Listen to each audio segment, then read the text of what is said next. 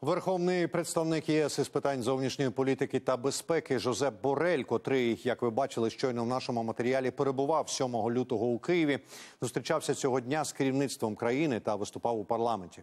Говорив про майбутню допомогу від Євросоюзу.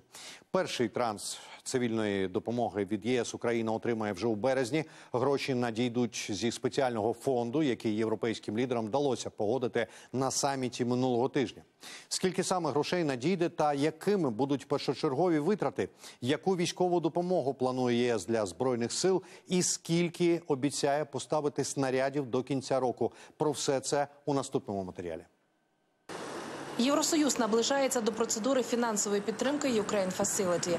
Цього тижня Рада ЄС та Європарламент погодили новий механізм підтримки України. Завдяки цьому Київ у найближчі чотири роки буде стабільно отримувати гроші з ЄС для покриття власних бюджетних потреб та реформування.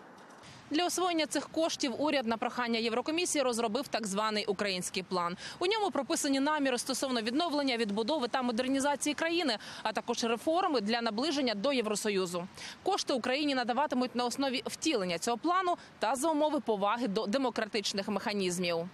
Загальний бюджет фонду 50 мільярдів євро. З них 33 мільярди це позики і 17 – гранти. Весь фонд заплановано освоїти за 4 роки, приблизно рівними частинами по 12 мільярдів. Цьогоріч перший транш, який Україна отримає в березні, становить 4,5 мільярди євро. Це найбільша запланована цьогорічна частина фінансування. Ці кошти підуть на захищені видатки, пенсії, зарплати та соціальні виплати. Витрати щоквартально перевірятимуть на предмет доцільності та прозорості використання. Проте зараз пріоритет серед усіх напрямків саме захищені видатки бюджету.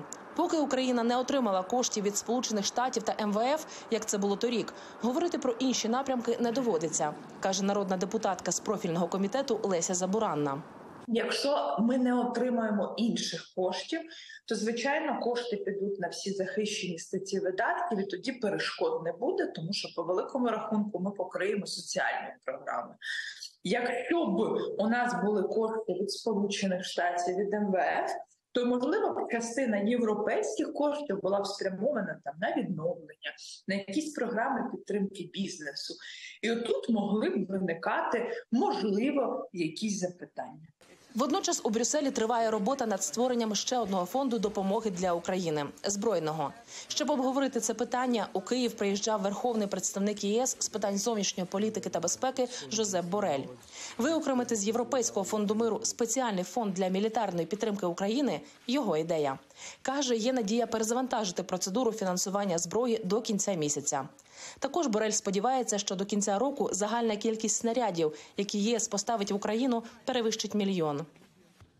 Я хочу ще раз це чітко підкреслити. Поставка це безоплатна передача плюс експорт. Не беріть до уваги тільки кількість безоплатної передачі, адже окрім цього є ще один важливий потік боєприпасів в Україну, які надходять за прямими контрактами. Я знаю, що цього недостатньо. Знаю, тому ми нарощуємо наші потужності. Ми перенаправляємо це виробництво, щоб віддати пріоритет Україні. Але для цього потрібно збільшити виробничі потужності і змусити всіх рухатися в цьому напрямку. Це не так просто, але ми досягнули результатів, і в найближчому майбутньому їх буде значно більше.